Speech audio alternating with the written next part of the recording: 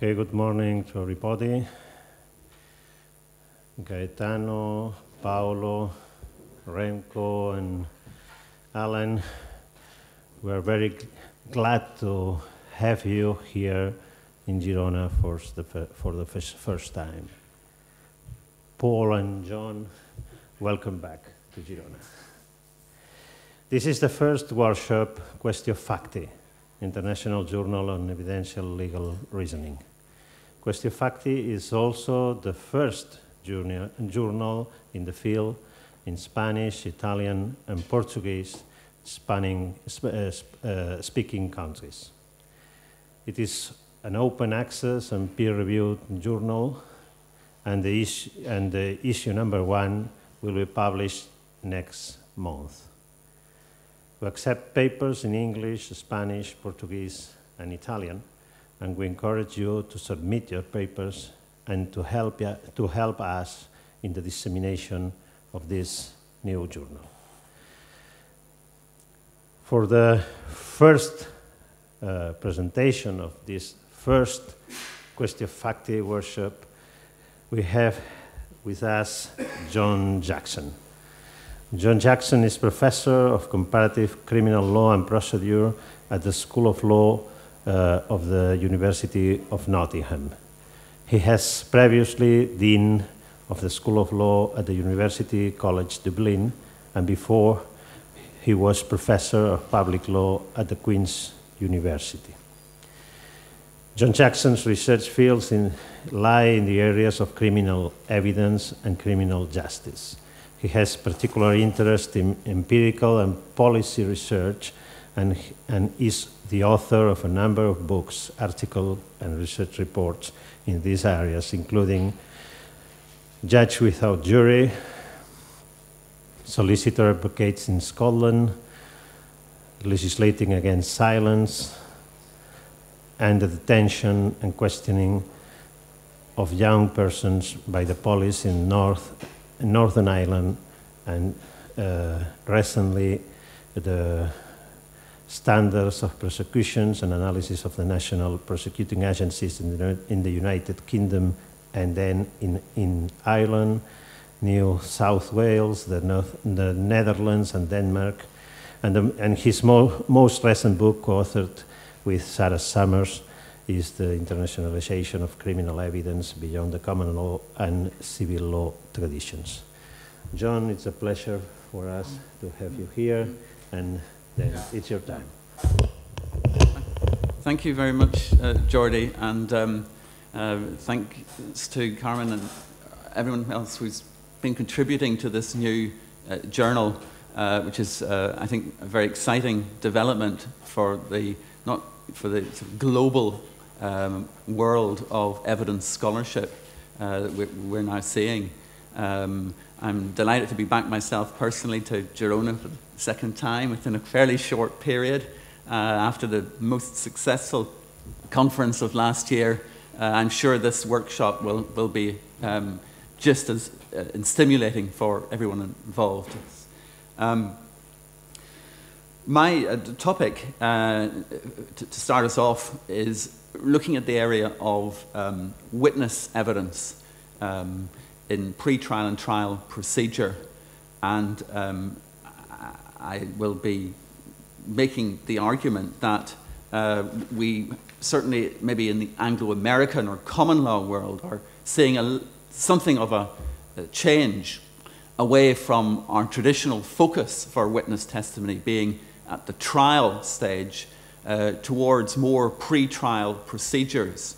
Um, I, I, know that those of you from the more civil world, civil law world, uh, will not find this at all strange uh, that evidence is taken formally from witnesses uh, at a pre-trial uh, area, pre-trial phase uh, of investigation leading on to trial. But in the common law world, this is not such a tradition, and um, yet we are seeing some changes. And I guess my question is going to be whether change, these changes are leading to uh, a different kind of paradigm, in a sense, away from the traditional focus on the trial, with emphasis on orality and um, confrontation as key principles in the contested traditional sort of common law trial. And uh, we're moving away from that maybe towards um, focus on the pre-trial, which preserves our principles of due process, um, but uh, has to have them translated in a different way to enable that focus to take place. And some of the, the, the obstacles uh, that we see in the place of this, particularly from a sort of Anglo-American perspective, and I think it'd be interesting maybe to get some uh, views from civil law lawyers, philosophers here who uh, will maybe engage with some of the debates that we've been having. But uh, first of all, I guess there's an issue of um, uh, what we might say is terminology. Um, so I, have talked in terms of the title of the paper being diluting principles of, um, I use the term initially as um, immediacy um, or orality uh, and confrontation. And um, uh, I suppose, it, in a sense, we confront perhaps immediately here uh, a challenge of terminology. Uh, we are more comfortable, I think, in the common law world talking about a principle of orality uh, to mean effectively uh, in court testimony taken at the trial being really the focus of attention. Um, I mean, Roberts and Zuckerman uh, observed that live courtroom testimony uh, delivered orally by witnesses with relevant first hand knowledge of the matters in issue uh, is the paradigmatic form of evidence in English criminal trials. Um, it's not to say, of course, there are a lot of trials that don't get, a lot of uh, cases don't come to contested trial. I'll maybe come on to that. But um, that's a, a, key kind of statement, uh, really underpinning this principle of orality. Um, but I think in, for people in Spain and other civil law countries, this is more perhaps known to you as the principle of immediacy. Um, and uh, I got some sense of the difficulty of terminology uh, at uh, a conference I've just been to on Anglo German debates uh, on evidence and procedure when I was told that certainly in Germany, uh, and I'm not sure about Spain, the principle of orality is actually um, quite differently interpreted. Uh, and it really means in German, and it's actually defined in, the, uh, in their Code of Criminal Procedure in terms of, uh, yes, the focus of attention is the public trial, uh, uh, uh, and the public trial is the exclusive locus of fact finding. Um, and the, but it means more in terms of the judgment of the court, um, that the court's judgment cannot be based on anything that has not been discussed at trial. In other words, you've got to derive your judgment, judges, from what is uh, put before uh, the trial. But as is pointed out to me, that doesn't necessarily mean oral evidence of witnesses. That can mean documentary evidence, anything that's submitted, as I understand it in Germany, in, in the trial can be the focus of, uh, can, can, be used for the judgment. Um, but it's a different meaning from what uh, we would have as a principle of orality in the common law world, because we see this very much as witnesses giving live testimony. Uh, and in Germany, the focus is more on the judgment being based on the evidence of the trial, which doesn't have to be live testimony. And uh, they were saying they also have in their Code of Criminal Procedure a reference to immediacy. Um, and it's that reference to immediacy um, that is paralleled with our principle of orality. And in terms of immediacy, they mean really what we say is orality, that live courtroom testimony is the ideal form. But in Germany, it's not the only form of giving evidence. Um, so I think it's just an interesting illustration that maybe of some of the terminological difficulties that we have in our debates together. Uh, that when we say one thing, we think well, we, we know what principle of orality is. Uh, certainly, some of the, the Germans were perplexed by this and sort of putting me right in terms of what they see the principle. But I, am going to be focusing and maybe using that term orality and, and immediacy together um, as uh, being um, uh, certainly important uh, for, for us. Um, and then the other term is, um, uh, and, and, there you can see in the, in the uh, PowerPoint, just the principle of immediacy in Germany requires every witness is heard in person by the trial court, and the witness's evidence must not be replaced by documentary evidence. That is immediacy, but it's not necessarily orality. Um, then confrontation. I think, again, there's more um, acceptance here of what we actually mean by um, confrontation. Um, but again, there are some terminological uh, issues perhaps there. Um, confrontation, in some respects, in England has a, a, different meaning sometimes in terms of um, a procedure for identifying witnesses. Um, when we are unable to have an ID parade or uh, a formal process of identification, we, we might confront um, uh, witnesses with the accused in order to make the identification. Sometimes that's called confrontation with us. Uh, and uh, again, I think in civil law procedures, you have a process of confrontation, sometimes at the pre-trial phase, when witnesses, and maybe at trial as well, uh, are, are, are, sort of put into a position of confrontation uh, where they confront each other uh, with evidence and they challenge each other uh, sort of face to face. Um, but it's not seen in that respect as a, as a right um, and of course, confrontation often has this more meaningful sense of being a, a right, um, a right to confrontation, obviously famously um, underlined in the um, Sixth Amendment to the US Constitution. In all criminal prosecutions, the accused shall enjoy the right to be confronted with the witnesses against him. Um, again, in the civil law world, in terms of a right, it probably has had uh, less uh, historic importance. But clearly now um, we see some representation of the principle in the European Convention on Human Rights, uh, where it is, of course, stated in Article 6.3d that everyone charged with a criminal offence has the right to examine or have examined witnesses um, against him. Um, though it's interesting, just again, we were just taking that expression uh, as, as it means in English, that it doesn't seem to necessarily, as it's written off the page there, mean that the accused has a right to examine personally. Uh, another way of protecting the right is to have witnesses, have, have witnesses examined against him. In other words, may not be the accused doing the examination or even the accused counsel. Interpreted in that way, it could be the judge, could be somebody else. The important thing is that the witness is examined uh, so again, perhaps slight dilution there in terms of the, uh, just on the face of it, in the European Convention what the right to confrontation um, actually means. Um, but I, I, guess what we see together here is a kind of paradigm which one might call orality, or if you like, immediacy, confrontation paradigm. And Professor Stephen Maffei has written a book uh, on um, confrontation in, in the European countries, the European right to, sorry, the European right to confrontation in criminal proceedings. Um, I think it's now in a second edition, actually, but uh, he talks about this paradigm really in terms of a having a number of different components to it. Um, um, and uh, here he kind of makes the argument that confrontation is not just a right to examine witnesses, um, but it, it, does have, combined with this principle of orality or immediacy, a number of, of features um, which I'm sort of going to use as, as the paradigm for the talk.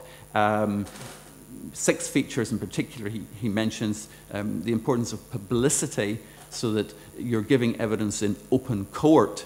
Uh, being important as, as, opposed to, again, a, a pre trial procedure where there may not be um, openness in terms of uh, the, the, proceedings being open to the public. Um, obviously, this idea of the presence of the accused being very important for the accused to meet the accuser eyeball to eyeball, as it's sometimes called, uh, in that uh, forum of the trial. Um, the importance of the presence of the fact finder, whoever that happens to be, it could be a judge or a jury, of course, in Anglo American context, to observe the witnesses so it's, it's a sense there of seeing the demeanor of the witnesses, uh, not just uh, off the page, maybe what they have said, what they say uh, in transcripted form, but uh, how they are giving their testimony. Um, the importance of the oath, witnesses to give evidence on oath or some degree of formality associated with um, the evidence that they give. Um, the fact that the witnesses uh, are personally identified uh, in that um, the accused knows exactly who the witnesses are uh, and are able maybe then to sort of use them, their history uh, by some way of challenging their, their evidence um, from, a, from the point of view of credibility. Um, and then this idea of adverse questioning, sort of finally, the idea of uh, questioning the witness, um, cross examining, as we would, of course, call it in the Anglo American world. That, that becomes the sixth component to Maffei's sort of paradigm, as he um, phrases it. Um, and what I'm going to sort of just sort of sketch out a little bit uh, to begin the talk, to, to, advance it further, is to show how important this, this paradigm has been. Uh, we are seeing uh, a dilution of it in a number of different respects. And um, it's possible maybe to, um, to, to, to, think of more respects than this, uh, but I've suggested there are at least six. Um, some of them, maybe there's a little bit of overlap. Uh, there may be others. Um, but in six respects at least, I'm suggesting we're seeing um, a movement away from this orality confrontational uh, paradigm. Um, and uh, I'm sort of going to speak briefly about them. Uh, first of all, um, the hearsay rule, which I, again I know is a, a rather specific Anglo American concept, this idea of hearsay. Um, but uh, if we move on to it, um, we've seen a relaxation of this rule. And I, I, suppose without going into the technicalities of it, uh, one can see how the hearsay rule um, is uh, sort of buttresses the orality principle uh, or immediacy principle in terms of the witnesses giving live testimony. And when testimony, it's important, is not given before the court, it's excluded under the hearsay rule if that testimony is going to the truth of issues that are in contest in the trial. Um, and this is a key way of underpinning um, orality because obviously it means that um, uh, witnesses' evidence outside the trial that people maybe report on uh, in the trial, that would be excluded um, under the hearsay rule. So it's a way of kind of incentivizing parties to bring the witnesses to the trial. And um, sorry to go back to um, hearsay for a moment, sorry. Um, we, have seen a relaxation of this rule over the years in England and Wales. I think it's fair enough to say we've seen relaxations in other countries as well, as exceptions have been made to this principle. Um, and in England now, we have you know, this a bit unusual in some respects when it comes to evidence law, which has never really been codified by us. But in terms of hearsay, we, we have what some judges have called a crafted code in uh, an act which has brought all this together, Criminal Justice Act 2003, uh, which was a kind of pivotal moment for legislation. Um, traditionally, um, the exceptions to the hearsay rule uh, were developed by judges in the common law. Um, and the judges took that responsibility, and there were some kinds of considered reliable forms of hearsay, um, public records, for example, and certificates, um, uh, confessions to an extent, if they, if they qualified and were admissible, um, could be uh, admitted, uh, and these were developed by judges.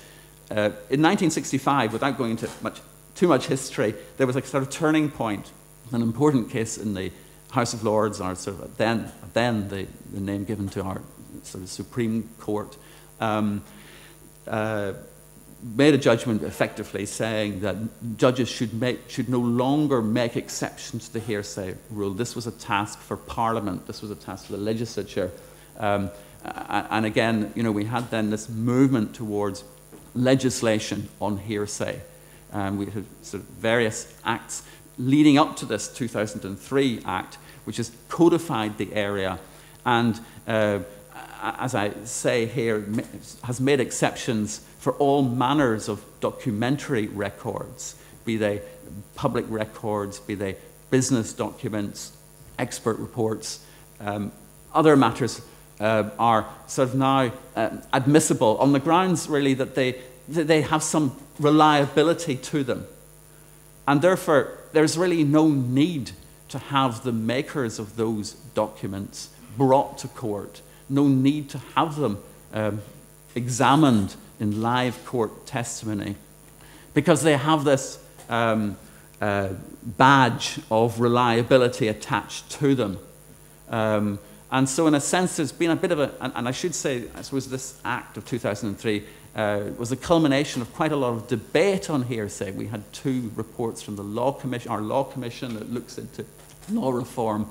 Um, we had a, a, a, a, big report by um, um, a, Court of Appeal judge, Robin Auld, who you know, looked extensively into this area because there was a feeling that hearsay had become too technical and there was a need to sort of liberalize or relax it.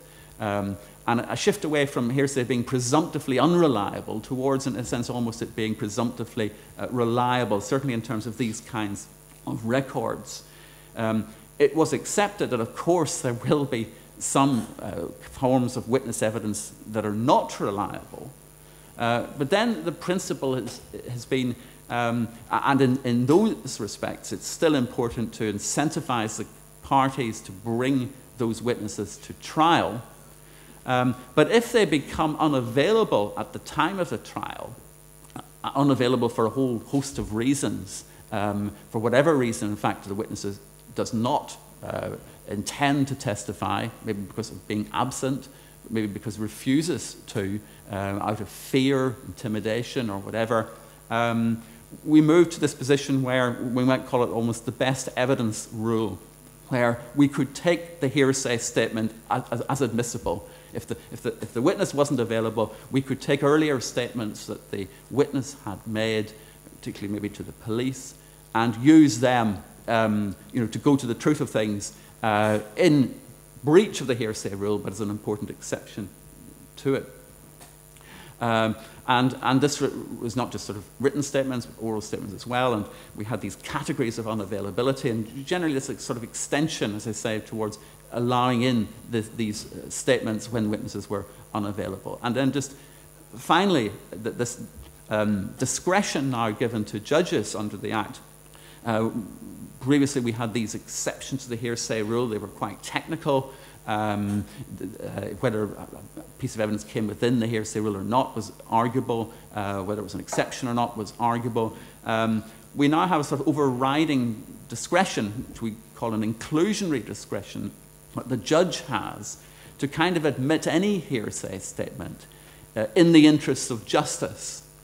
So, this is, in a sense, some would say, sort of subverting the, the, the traditional hearsay rule quite considerably because it gives the judge that freedom to say, even if the statement doesn't come within an exception to the rule, uh, bring it in anyway because uh, it has you know, a hallmark of being reliable.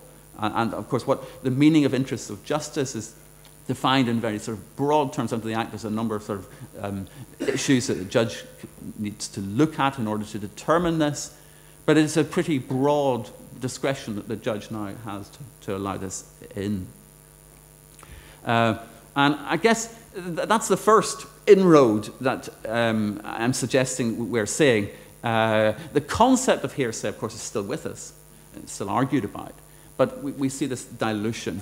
Um, and then alongside that, um, we also see a number of other measures whereby, even if we have the um, witness in court to give live testimony, we're putting uh, more emphasis on uh, what the witnesses have said before court. Um, it used to be, and I don't want to be technical because I don't want this to develop into a lecture on um, common law evidence, which is quite technical, but we, we used to have this rule that was called a, a rule against narrative uh, whereby um, we were quite suspicious of previous statements that witnesses had made. We wanted to hear them live. And, and it was possible to put previous statements to witnesses uh, to kind of, in a way, um, perhaps challenge their credibility. Um, but those statements couldn't be used to go to the truth of, of the matter. Um, and uh, whether they were consistent statements, that the witness is sort of saying things before that he now is saying, or whether there were inconsistent statements, statements that the witness is now saying uh, didn't happen or were not are untrue, um, you could bring them in to sort of challenge credibility, but not to go to the truth. And again, this debate that we've had here uh, is very much in terms of is this really the right approach? Um, because, in a sense, you know, might it not be the case that earlier statements that witnesses first make are perhaps the more reliable ones? And it's later at trial when people have opportunities to sort of embellish their testimony according to maybe um, the issues in contest in the trial uh, that we maybe need to be more suspicious of. So we had this sort of idea developing that, in fact, really we ought to be putting more emphasis on these pre-trial statements um, that the witness has made. Um, and I mean, I just give a, a, quote here from John Spencer, who is one of our sort of evidence scholars of, of old. Uh, we're talking about these people now, sort of, uh, who have been quite uh, instrumental in some of the changes that have been made. John Spencer was an advisor to the um, Auld report. Uh, that was fairly influential in terms of getting some of these things enacted. They didn't go far enough for him, but uh, we nevertheless see these changes, and what we see is a sort of inroad into the rule against narrative. And he was very, he sort of launched this full scale assault on the rule against narrative um, and said if there are two specific scientific facts about the psychology of human memory which are clear beyond doubt, um, one is that memory for an event fades with time, uh, and the other is that stress beyond a certain level can impair the power of recall. He was referring in stress there to the stress that witnesses undergo when they give live testimony, again in a public trial. Um, and so he said the rule against narrative stands the scientific knowledge on this question on its head, requiring us to accept the following propositions. First, that memory improves with the passage of time.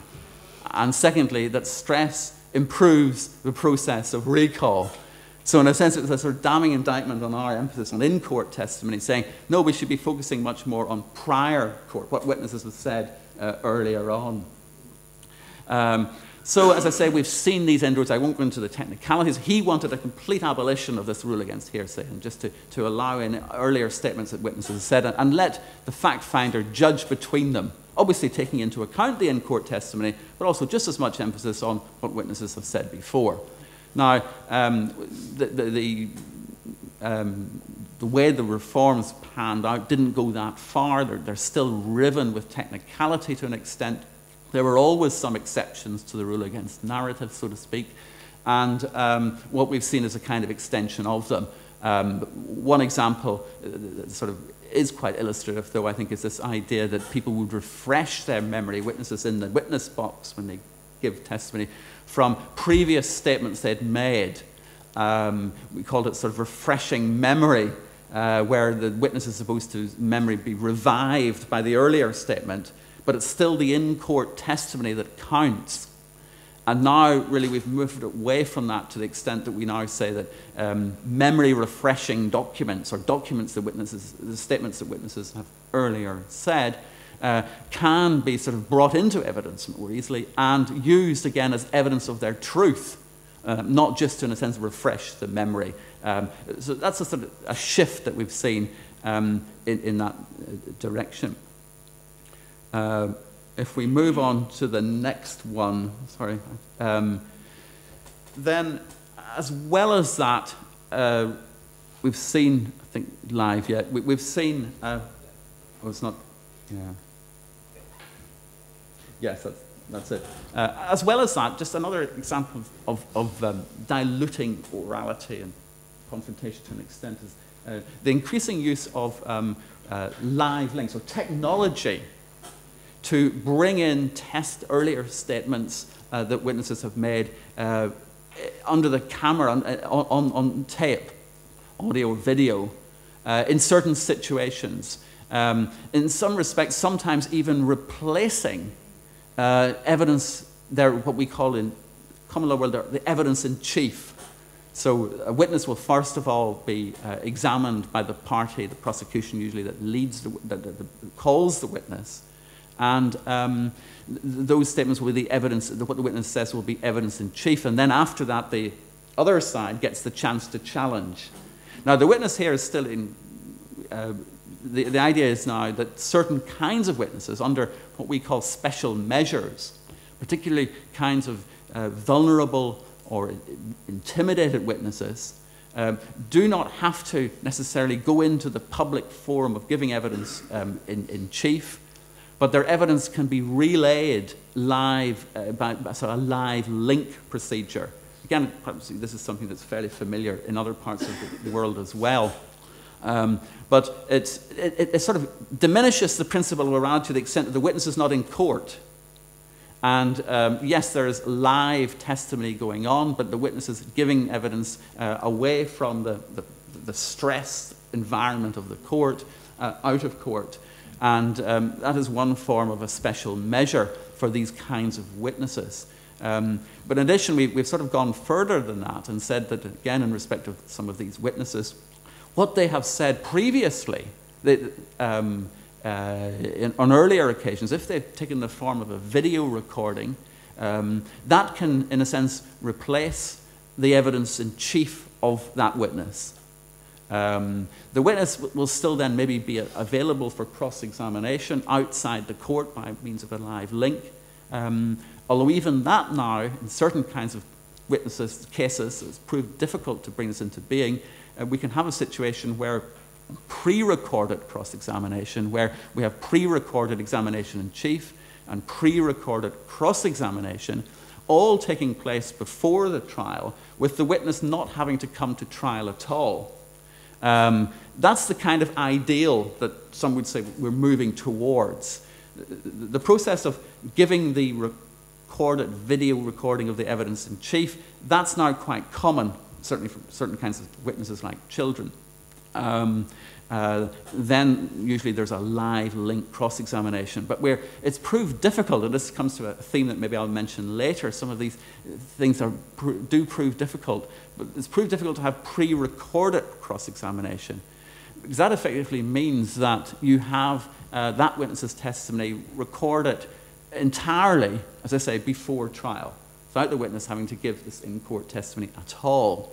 Um, this is cross examination, is being trialed at the moment. It's taken a long time to get this right. Some people are sort of blaming the technology. Um, but I think there's some kind of re resistance and difficulty, systemic difficulties in, in, going in this direction, which I'll maybe come back to. But we're, we're seeing a move in the direction of it. Um, and then just should make the point that live link evidence, the TV live link, and the video recordings of earlier accounts, they've been legislated for in order to happen in respect of any witness. Um, certainly, the live video link evidence could be given by witnesses who were, say, abroad, um, and you know that's not really controversial anymore. Um, we haven't yet brought into force um, this idea of having video recordings of, you know, just any witness, apart from these special witnesses who are under special measures, the, the vulnerable or the intimidated. The idea of having any witness as evidence pre recorded is something we have legislated for but not yet actually seen in action. Um, so some of these changes are happening, some of them quicker than, than others. Um, and I, I, guess that's, uh, yeah, that, that's, that, that's that one. If we move to the next uh, idea, then, or the next so restriction that we're seeing on this principle of orality. Arguably, this is on cross examination itself. Um, so, the idea traditionally is that uh, witnesses are examined, um, as I said, by one party and then they're cross examined by the other. And uh, although there are certainly restrictions on cross examination traditionally, that witnesses mustn't be entirely sort of uh, insulted, the judges there to, to ensure there's fairness there's been generally very free rein given to parties to cross examine. This is part of the idea of confrontation, that you should be given a lot of freedom to challenge the witness. We won't be too strict uh, on the, the, kind of questions that are asked um, to challenge the witness, whether they're going into the witness's past or whether they're challenging what the witness says happened in the trial and in the issues in contest. Um, we're seeing some change again in relation to um, these kinds of uh, vulnerable witnesses, um, children or people who have difficulty in communicating.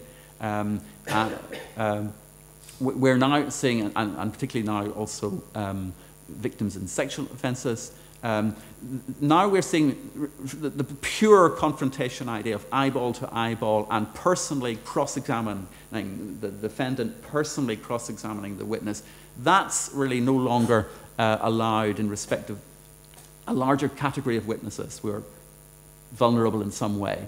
And uh, the defendant uh, really, uh, you know, ha has not got allowed to do that, um, and neither has um, counsel, and, and what, uh, uh, his, and he must let his counsel do it. If he refuses to allow his counsel to examine, because he insists that, you know, I've got this pure confrontational right. I want to challenge the witness personally.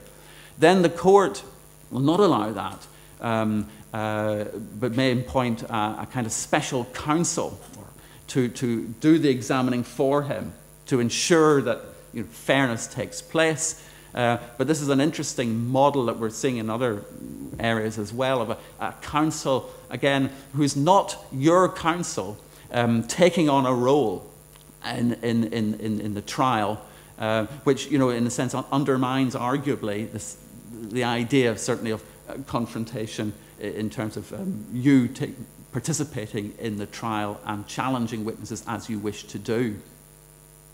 Um, in respect of these witnesses who have difficulties of communication, and, um, we're seeing intermediaries being used so that um, counsel want to question the witness but they're not allowed to do it necessarily directly anymore in respect of certain kinds of witnesses. Instead, they will put their question and it will be translated in, in, a sense by an intermediary who will put the question. And again, that largely undermines this idea of direct cross examination. It's done sort of by, uh, and, and the idea of the intermediary is there to sort of make it easier for the witness to understand the question. But again, you can see how maybe this dilutes from the idea of direct cross examination. Um, and, and, then we're, we're seeing uh, even a, a, stage where uh, judges are interfering more on what questions are put to witnesses. So, as I said, traditionally, this, judges have tended to be fairly lenient in terms of the questions that can be put. Now, again, for certain kinds of vulnerable witnesses, particularly children, um, the idea here is that if you have a pre-trial hearing, uh, at which, if you are the accused, the accused counsel, you will say to the judge, first of all, these are the questions I want put. And the judge will kind of approve them um, um, before going into the trial itself. In the trial, you'll still be able to put those questions uh, through your counsel to, to the witness, um, but um, uh, they have been kind of pre approved by the judge. And that, again, you know, arguably dilutes this idea that you should have this freedom to cross examine, put these questions that, that, you wish to the witness, rather than having them kind of vetted um, or pre approved by the judge. Again, it's early days to see these hearings, but they are emerging. Um, interestingly enough, not necessarily under legislation, but under you know, rules of procedure that, that are increasingly becoming common um, um in, in the way that our um, our, our trial rules are, are developing. Um, and some have sort of said here we're moving away from a traditional advocacy model that you can associate maybe with um, the orality uh, confrontation paradigm towards a kind of best evidence model. And what that means is um, often, uh, counsel, if you're cross examining, it's important not just to challenge the witness and what the witness says, but in a sense to put your version of events to the witness. That's a very important part of our kind of adversarial framework. Uh, and it's important to do that because if you don't do that, you can be penalized later for not, in fact, putting questions to the witness um, in, the adversarial trial. Now, um, you know, but, but, the movement here, in a way, is away from the adversary model towards um, you only really being able to challenge what the witness said. Again, only these particular kinds of witnesses who are vulnerable. But you, you're allowed to challenge what they say, again, maybe through an intermediary, so not even maybe directly. Um, but sort of to rather put aggressively your own case to the witness, that's being diluted. Um, and some have said we're seeing here a kind of revolution in terms of cross examination. Now, again, I think we have to be careful because I think some of these changes are, are really go to the, the, very depths of our adversarial structure, uh, particularly this idea it's important to put things to the witness. If that's being diluted, uh, in a sense, then uh, we, we, are seeing uh, a big change, and, but we're also, I think, seeing some resistance, understandably, from counsel who, who see this very much as undermining their traditional role in the adversarial trial. Um, we're coming on, I think, now to the, the fifth restriction, and bear with me, uh, this is what I call maybe the rise in secret evidence. So if you remember, the paradigm, the orality confrontation paradigm, talks in terms of um, the proceedings being in court, in open court, in public. Um, and uh, again, you know, I'm not wanting to overplay this, but we do see now um, um, uh, you know, in-camera hearings uh, where the public are shunted out. That basically, the, the trial takes place in private. Uh, in private, the, the, the, parties are still there. The, you know, the counsel are still there. The judge is still there. The jury is still there um, in, in a jury trial. But the public are sort of taken out. And uh, you know, whereas traditionally this was a very restricted, this could happen in, say, sort of spy cases or cases of official secrets, where there were clearly very sensitive issues involved um, in the trial.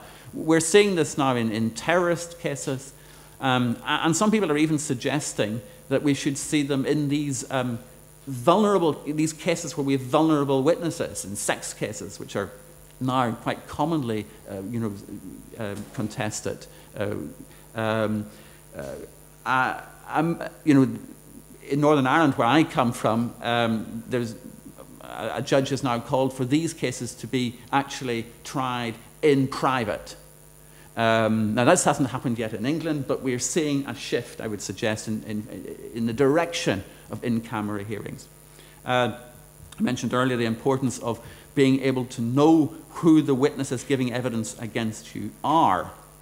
But again, increasingly, and I don't want to overplay this because there's been a, a sort of absence, I think, of um, empirical data on just how common it is, but we are seeing uh, the use now of anonymity orders, whereby the judge will make certain orders in certain cases, uh, particularly where there's problems maybe of intimidation lurking around, and will uh, and can go so far as to say that the, the defense for example, are not allowed to know the identity of um, an accuser, uh, a, chief witness against the, the, defendant.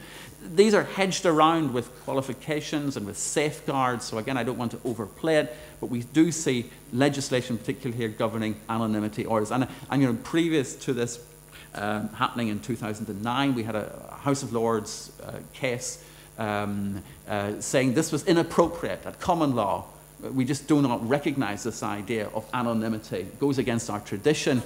And Parliament very swiftly sort of swept that judgment aside and came in to allow these anonymity orders to, to take place. It's a kind of special measure, but you know, quite an extreme one, arguably, in terms of the, the paradigm that I'm talking about. And then again, we're seeing now um, uh, the idea again is, is, that any relevant evidence um, in the trial should be presented by witnesses and be allowed to be examined. But we have a process now whereby the prosecution can, in the absence of the uh, defense, go to a judge before the trial and say, yeah, there's some evidence here that's relevant, but we don't want it to be admitted in the trial uh, because it maybe involves a, a sensitive witness or there are sources of um, information here that should be kept secret. Maybe they are informants uh, uh, working on behalf of the police, and it's important to keep their identity away from the accused and even what they maybe have to say. Uh, and so the, the, the will kind of test the judge and say to the judge, really, you know, take this evidence out. Don't let uh, the other side see it. And the judge has a sort of balancing test then, can ultimately override that and say, no, I think this should go to trial. But again, it's, it's, a further sort of vetting on the part of the judge, which is more than just traditional sort of admissibility, more than just relevance, but uh, effectively saying that, you know, unless the evidence maybe is so important for the defense, this evidence will be, will be kept hidden from the defense. And we call these PII, public interest immunity, hearings in the absence of the accused before the trial. And then I mentioned special counsel, this idea where people pop up uh, in, to advocate for your interests. Um, we see that in this context uh, also, certainly, you know, again, not common, but it can be the case that the judge might say, well, uh, you know, I, I want to just be sure that I'm being fair here, and I want to hear a kind of defense point of view in these hearings. I cannot uh, ask the defendant to come because obviously the defendant will then be seeing the evidence. I cannot ask the counsel to come, but I can appoint a special counsel to do that uh, job. Um, and then just finally, um, we've been talking about witness evidence, uh, but of course, defendants can also be um, called as witnesses. And um, thank you, that's suspects interviews. Uh, but, and, and, defendants frequently now uh, do give evidence. But uh, we've also seen a, a, movement that, in a sense, goes very much to the core of what, witness, what defendants have said earlier to the police. Now, it was always the case that confessions could be admissible, um, but often they would be challenged in the court, maybe in terms of what was said, by oral evidence in the court. The judge would make a ruling on the admissibility of the confession based on um, hearing live evidence, albeit in the absence of the jury. But now, under sort of reforms in the 1980s, we, we reviewed all our processes for taking uh, uh, evidence from, from suspects before the trial. We give safeguards. So, in the police station, when you're being questioned as a suspect, you're entitled to have a lawyer. Um, but what also happens is that what you say uh, will be recorded. Um, not just audio recorded, but video recorded. And evidence of that video interview can now be screened in front of juries, provided the judge you know, has made a ruling that it's admissible, uh, so that um, juries can see, or the fact finders can see, uh, the, the witness giving evidence, the defendant, uh, now, you know, as a defendant, then as a suspect, how that suspect reacted to questions at this earlier stage. Um, and, and, this is becoming very common. In fact, to the extent that you quite often on our TV, when we have high profile trials, um, we see record, these video recordings, particularly after maybe the, the witnesses, uh, the, the defendant's been convicted um, um, and sentenced. We're allowed to see how the, the witnesses responded as a, as a suspect um, we don't actually televise our trials, but we allow in this kind of evidence to ultimately get out to the media after the trial. So, and, and they, they are important because we link this in a sense with uh, increasing inroads into the right of silence so that um, it's not just, it's possible for suspects, of course, to say no comment in these when questions are put to them. They can say that um, in the police station when they're being questioned. Um, but uh, we've now got these um, uh, inroads into the right to the extent that if you fail to mention things in the police station at the, in the suspect interview, that you later then want to raise, inferences may be drawn against you on the grounds that you didn't raise uh, these facts earlier. Um, so again, this puts the pressure on the suspect to, uh, to open up, say things at the um, in the, um, in, in, the police station, even with access to, to an adv legal advisor, uh, on the grounds that it may be difficult for you if you don't do this now, uh, later on, it can harm your defense by not speaking up now. And so you get, you know, as I say, an entire vista of what the witness, has, the suspect has said in the video recording, put through to the jury, and they can make their assessments. And arguably, that becomes just as important as what a defendant says at trial. And sorry, before leaving, uh, one of the, the judges uh, in the Court of Appeal kind of spoke about this as a very sort of benign phenomenon. He sort of thought this was a good thing because basically, just as John Spencer was saying, it's important to get witnesses um, to say what they happened early on, to get their evidence early on. So this judge in the Court of Appeal, Justice Laws, was saying it's important to hear from suspects what they want to say or what they have to say uh, when they're challenged early on. And um, so, so we talked about a sort of change of culture here um, you know, away, I would say, from this orality confrontation paradigm. A number of measures in recent years have served to counteract a culture which had long been established in the practice of criminal cases that, in principle, a defendant may, without criticism, withhold disclosure of his defense until trial. Now, the police interview and the trial are seen as part of a continuous process in which the suspect is engaged from the beginning. And you know, I suggest that that again is a sort of dilution of this um, paradigm that I've been talking about. Um, and the, the judge talked about this as being a benign con- continuum. Um, and to extend that out a little bit further, uh, I suppose the question I'm sort of asking myself here is are we, not just in relation to, to defendants, but in relation to witness evidence generally, uh, are we seeing a change? Are we seeing enough in these shifts to see almost a new paradigm emerging? whether benign or not, and that's one of the questions we turn to, where pre-trial procedures effectively replace the trial. I mean, this is quite revolutionary from a common law perspective as the focal point for admitting and challenging evidence. And in a sense, through these means that I've been talking about, um, we're seeing a, a paradigm shift. Uh, and some will say it's benign on the grounds that you know, it's important to hear from witnesses early on to preserve their, at very least to preserve their testimony uh, and keep it for the trial if needs be. Um, and it's important, obviously, to hear from suspects early on uh, as well. And this kind of goes hand in hand with, um, you know, an increasing feature, which is, um, alluded to it earlier, that um, uh, you know, increasingly, of course, well, we've always had a situation where defendants can plead guilty. There doesn't have to be a contested trial. Um, but, you know, again, um, pressures to avoid trials are such that um, we, we, we, we, we, like the idea of defendants pleading guilty um, if they can, as a, as a, if, if, if, if, they wish to, there's a sort of voluntariness element to it. But of course, the more that things have been kind of set down in stone beforehand, and the defendant's kind of trapped into things by what the, the, suspect he may have said earlier, what witnesses have said, and so on. Um, the more the defendant may feel the way out is to plead guilty. And of course, there are incentives for this, which is very important, that you get a discount in sentence for pleading guilty. And the earlier on that you do this in the process, uh, the more of a discount that you'll get. Um, and, um, you know, in a sense, then, the idea is that if you can maybe bring in these pre trial procedures, uh, then this can um, be a benign phenomenon because, uh, in some respects, um, witnesses then don't have to come to trial and defendants can get value out of it in terms of uh, a sentence discount. Um, this process, has it been challenged?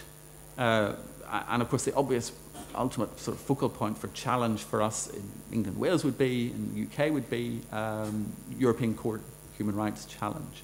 And I don't want to go on too long at all on European Court of Human Rights jurisprudence.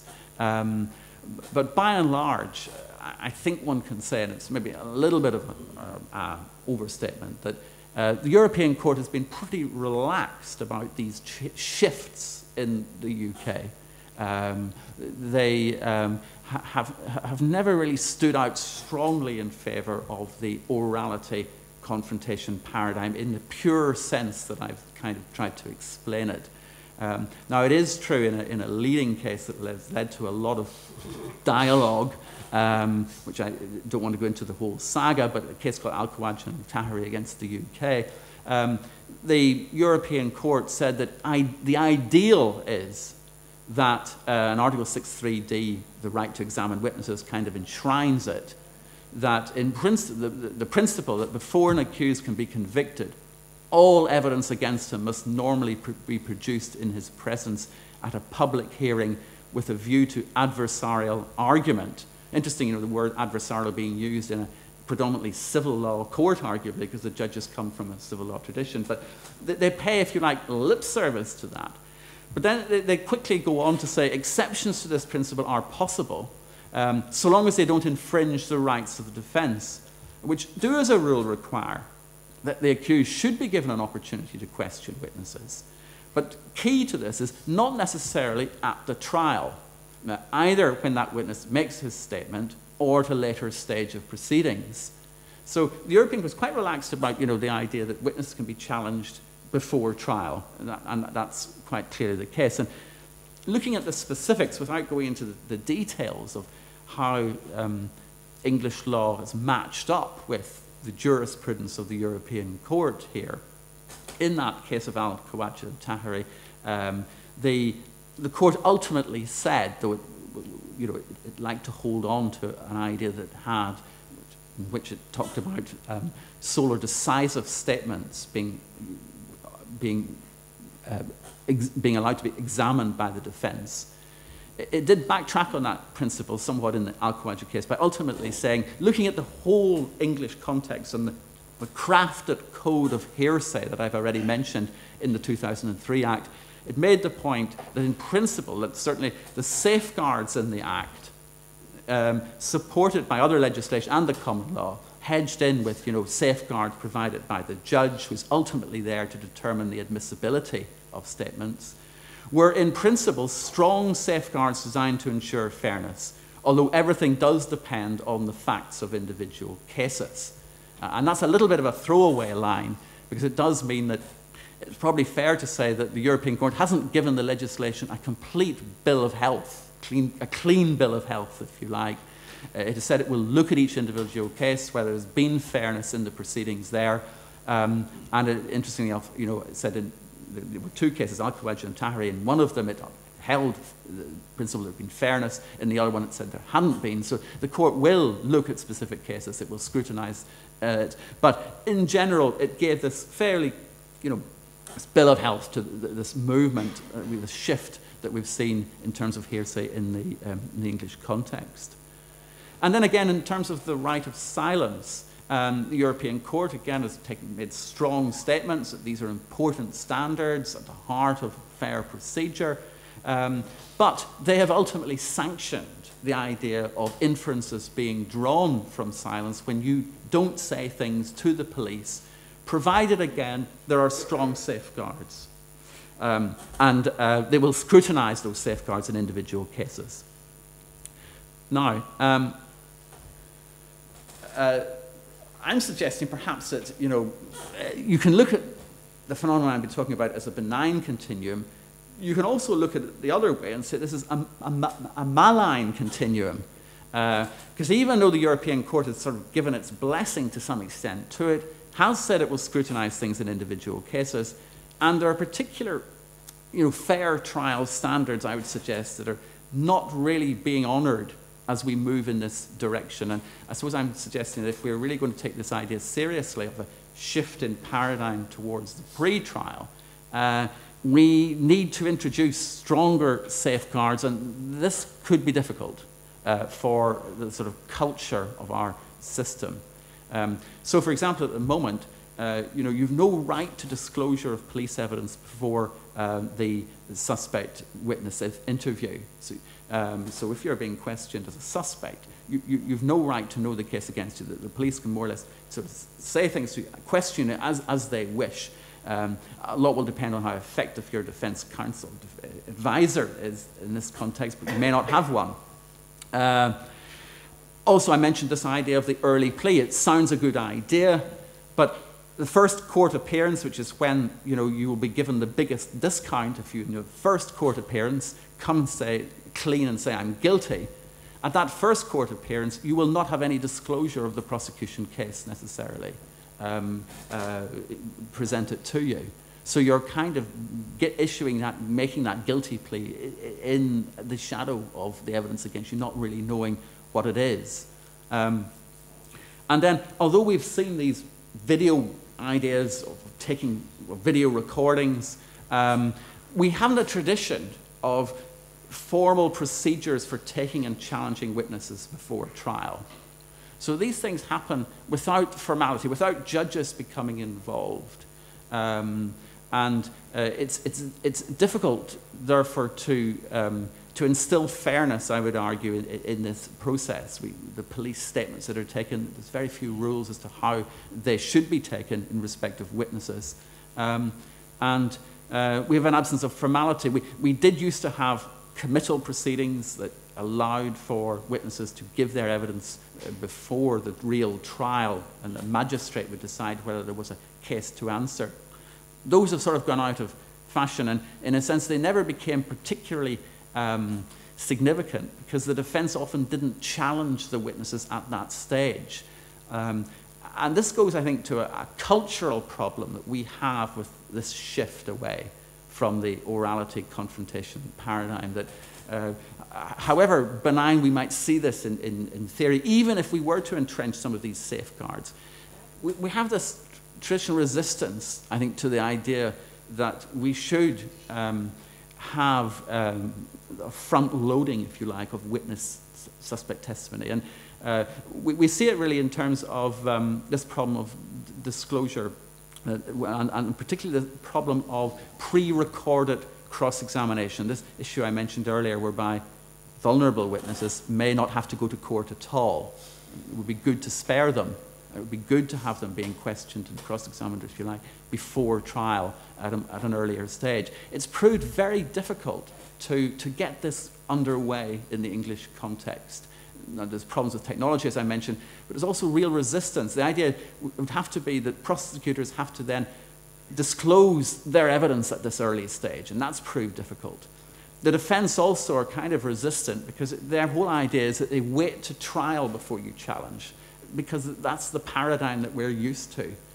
Um, and I suppose my ultimate question here, and sort of concluding, uh, throwing it out, is um, you know, is it actually possible, desirable, e even if we could affect fairness, is it desirable to do this? Uh, this idea of um, the trial being a kind of proxy for orality and confrontation, if we move that sort of challenging to an earlier phase, but without the public trial, would we be missing something?